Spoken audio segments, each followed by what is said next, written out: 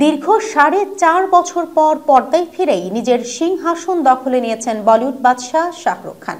পাঠান ও জওয়ানের পর এবার অপেক্ষা করছে ডাঙ্ক আগামী একুশ ডিসেম্বর মুক্তি পাচ্ছে কিং খান অভিনীত নতুন সিনেমা ডাঙ্কি ইতিমধ্যেই শুরু হয়ে গিয়েছে এই সিনেমার অ্যাডভান্স বুকিং। আর সেই খবর নিজেই জানিয়েছেন শাহরুখ খান।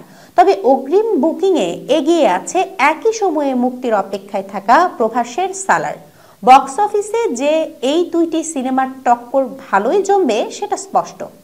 হিন্দুস্তান টাইমসের প্রতিবেদন অনুযায়ী শনিবার থেকে শুরু হয়ে গিয়েছে ডাঙ্কে ছবির অ্যাডভান্স বুকিং। এদিন শাহরুখ খান সামাজিক যোগাযোগ মাধ্যমে একটি পোস্ট করে লেখেন, আজকের তাজা খবর শোনার জন্য হার্ডি বেরিয়ে পড়েছে সিনেমা হলের উদ্দেশ্যে। আপনিও তৈরি হয়ে নিন। তিনি এদিন তার পোস্টে আরও লেখেন, আমাদের অ্যাডভান্স বুকিং শুরু হয়ে গিয়েছে। এখনই আপনার টিকিট বুক করে নিন। এই ছবির অ্যাডভান্স বুকিং খুলে যাওয়া মাত্রই দ্রুত ভর্তি হয়ে যাচ্ছে আসন সংখ্যা।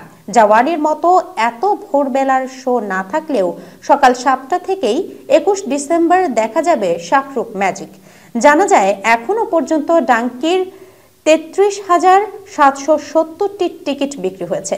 সচনিলকের রিপোর্ট অনুযায়ী এখনও পর্যন্ত শাহরুখের ছবি এখনও পর্যন্ত এক দশমিক চব্বিশ কোটি টাকা আয় করেছে অ্যাডভান্স বুকিং থেকে, যা স্যালারির থেকে কম। স্যালার ইতিমধ্যেই এক কোটির গণ্ডির টপকে গিয়েছে। রাজকুমার হিরানি পরিচালিত ডাঙ্কিতে শাহরুখ খান ছাড়াও তাপসী পান্নু, ভিকি কৌশল, বোমান, ইরানি সহ আরও অনেকের দেখা মিলবে।